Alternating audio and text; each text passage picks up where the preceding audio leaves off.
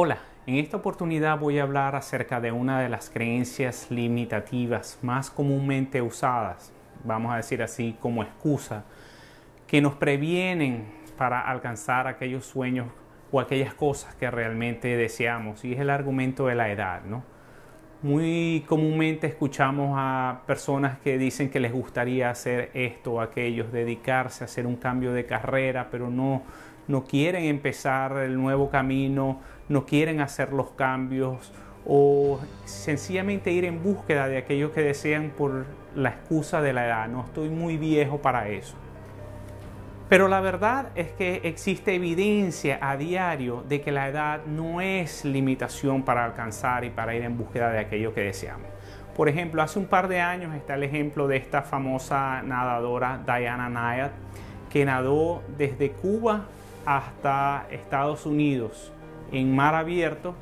Estuvo más de 50 horas nadando continuamente, fue picada por medusas, atravesó mal tiempo y todo, y sin embargo logró esta hazaña de más de 110 millas nadando.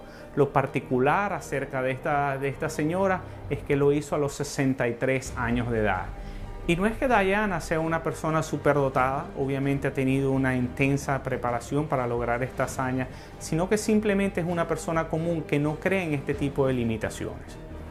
Otro ejemplo de esto son las personas que a lo mejor quisieran estudiar algo y dicen, no, pero ya yo, ya yo no estoy en edad para, para hacer eso. Y nuevamente vemos en el día a día evidencia de que es simplemente una falsa creencia. Hay gente que dice, no, yo no voy a aprender inglés, yo no voy a aprender tal idioma, yo estoy muy viejo, estoy muy vieja para eso.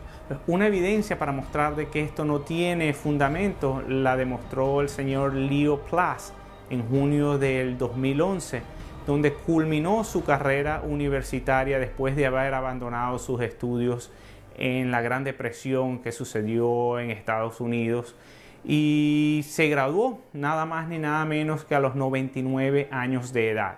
Leo se graduó en Eastern Oregon University y él dijo que bueno, solamente le tomó 80 años culminar su carrera universitaria. Otro típico ejemplo son las personas que les gustaría empezar un negocio, dedicarse a algo que siempre se han querido dedicar y no lo hacen por, por, el miedo a la edad. Y está, por ejemplo, en el, el caso, la evidencia de Louis Hay, que fundó, fundó Hayes House en el año 1984, nada más ni nada menos que a los 58 años de edad. Hoy por hoy ella tiene 88 años, sigue trabajando en su compañía y su compañía hoy por hoy produce más de 15 millones de dólares al año. Pero la excusa de la edad no se queda solamente en aprender y en los negocios, sino que también eh, otra muy frecuente es el argumento en el amor o en la vida sentimental. ¿no? Eh, yo noto muchas veces que hoy por hoy la gente joven tiene este, esta ansiedad por, por casarse lo más pronto posible, cuando en realidad esa, esa premura, esa presión son sencillamente eh, productos de creencias culturales, sociales o creencias que hemos adquirido a muy temprana edad. Por ejemplo, tenemos a la familia siempre diciendo a, cierta edad, a cualquier edad, que nos dice, bueno, pero tú te vas a quedar para vestir santo, tú te vas a, te, va a dejar el bus, etcétera, ¿no? Todas esas expresiones que, que, se, que se utilizan. Y la verdad es que no es así, a no ser de que tú creas de que la edad es un impedimento. Yo recuerdo que tenía un cliente muy importante aquí en Miami, eh, un doctor que tenía su práctica en, en, la zona de Coral Gables. Era una de las prácticas más concurridas de, de, de Miami. Y, y, este doctor tenía 93 años de edad. Él trabajaba todo doblado porque por la edad, siempre bien vestido, con su, con su traje, corbata y viendo una cantidad de pacientes impresionantes a su edad. Y un día yo le llego a su, a su asistente y le digo, mira, a mí me gustaría invitar al doctor y a su esposa a una cena en agradecimiento por el apoyo que, que nos ha dado. Y ella dice, no, no, no, él no, tiene, él no tiene esposa, él está saliendo con alguien. Y yo, bueno, dígale que traiga su pareja, no hay problema. Y el doctor, eh, con toda su elegancia, a los 93 años se aparece agarrado de la mano ¿verdad? De esta señora sumamente sofisticada, de mucha clase, una señora de 70 años de edad, pues ellos dos simplemente de novios a esa edad, una pareja encantadora, disfrutando la vida sin importar eh, la edad.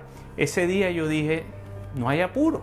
Y es, y es la realidad, simplemente si uno está abierto a esas posibilidades y deja a un lado esas creencias que la sociedad nos trata de imponer, eh, si las dejamos a un lado, pues sencillamente no hay bus que te va a dejar, no hay ninguna presión que tienes que, tienes que sentir, porque en realidad tienes el resto de tu vida para eh, lograr aquello que siempre has deseado.